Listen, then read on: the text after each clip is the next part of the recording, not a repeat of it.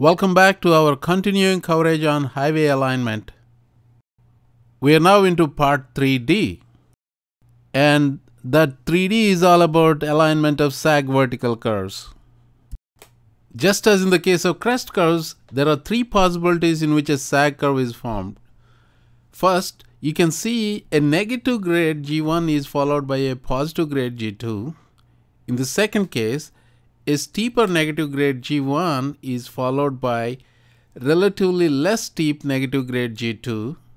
And in the third case, a flatter positive G1 is followed by a relatively steeper and still positive grade G2 makes a sag vertical curve. When it comes to sag curves, there are additional considerations in design. We have seen stopping sight distance, passing and decision sight distances, right?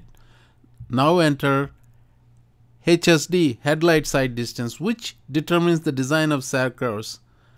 Why headlight?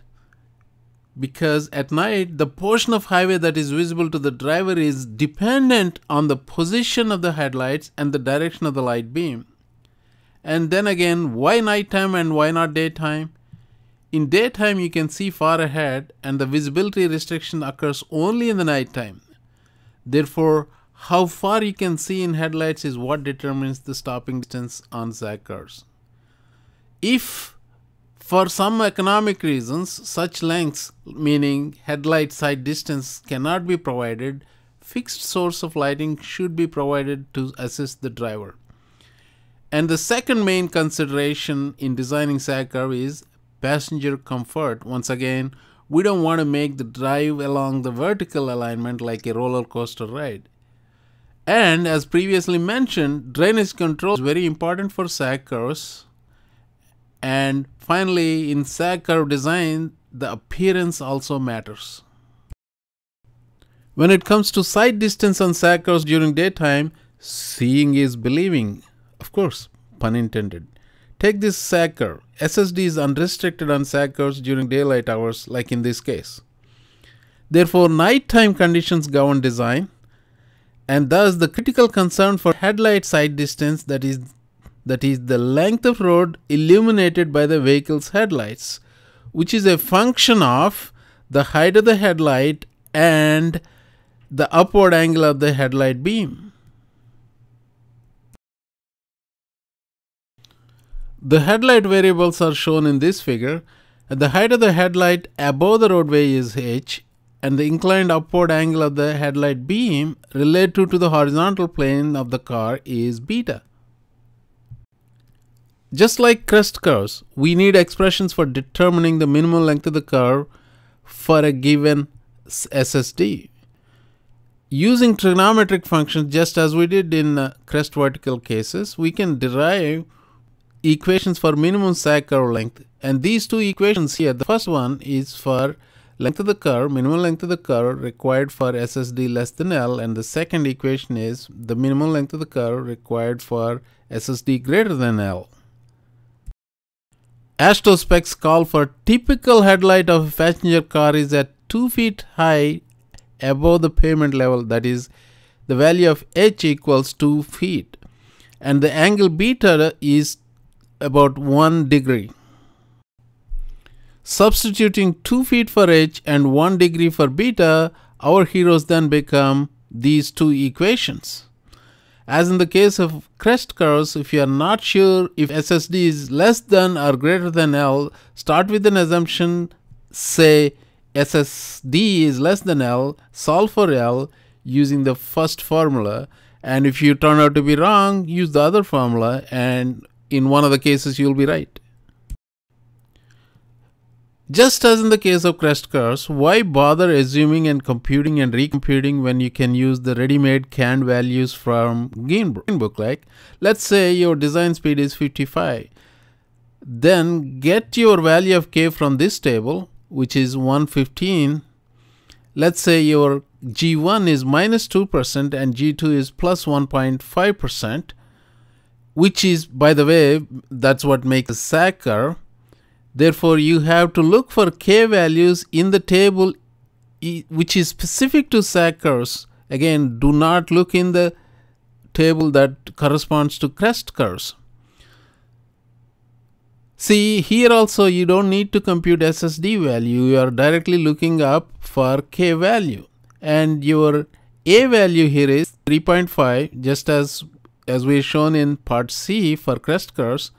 So plug K and A values into L, L equals K times A. Voila, you got 4, 402.5 feet for the minimum length of the curve and next 5 feet which is 405 feet.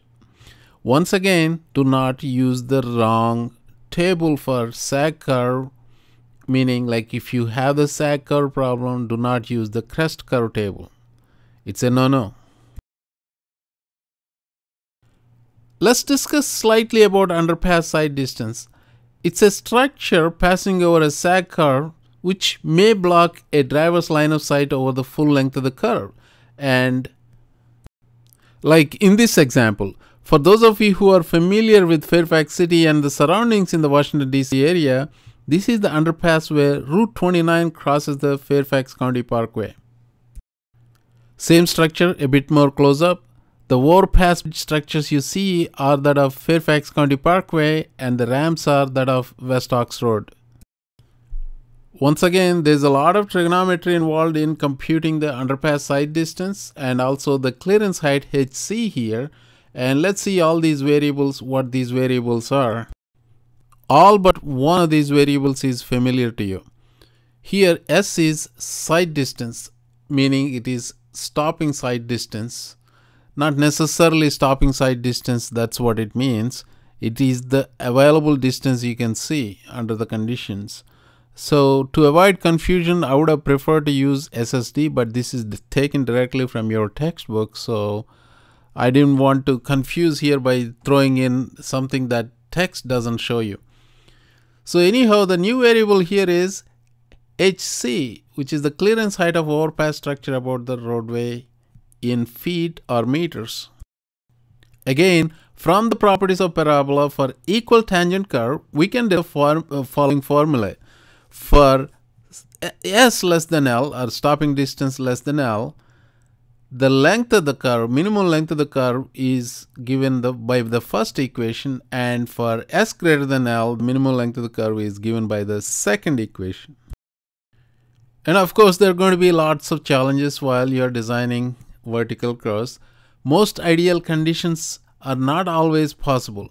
Depending on the site conditions, there can be restrictions on any or any combinations of the variables. Uh, first, length of the curve, initial grade G1 or tangent grade G2, clearance height HC. And what's the possible solution?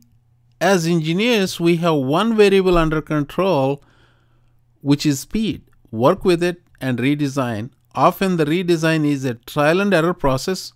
Whatever is your final design, devise a proper communication mechanism to convey the design variables to the drivers.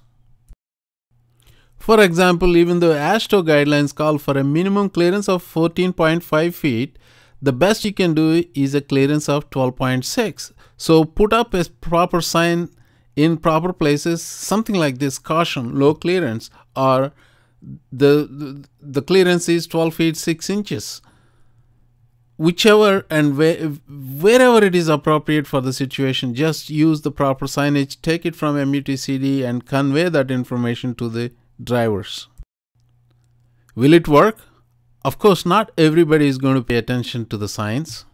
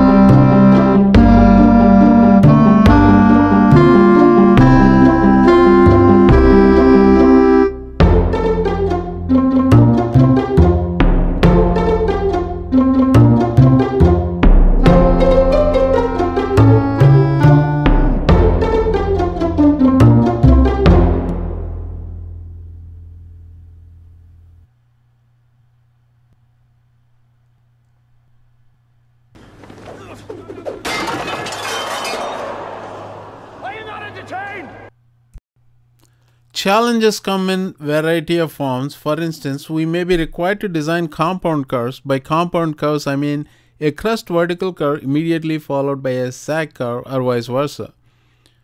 A vertical curve on a horizontal curve can be another challenge. Or an exotic combination of multiple vertical and horizontal curves in a short length and all with limited lengths and restricted horizontal and vertical clearances. Needless to say, the complexity of design increases with the number of curve elements and restrictions. Of course, we're not going to deal with all of them in this course, and we introduce the elements and then the design course. When you are actually becoming a practitioner, you'll be able to figure things out on your own, and that's the idea. Now we come to a stage where we can do some problems on sag curves. By the way, I did not forget to put the important stamp on slides for all parts of this module, which is module 3 on highway alignment. That's because all the concepts I talked about, they're very important. I'm not just kidding like I was kidding in some of the slides. That's because there are several reasons why. The FE exam is pretty much covers every single aspect of this one. So you got to be thorough on this module. So that's all I'm saying. Before we conclude this video, here are some of the review questions which are important from the perspective of concepts, meaning they can appear in the quiz. Try to get the answers for these questions and more, of course. When you watch the video, you should be able to critically think through the design elements for sag curves. And that marks the end of part 3D on sag vertical curves. Dhanyavad.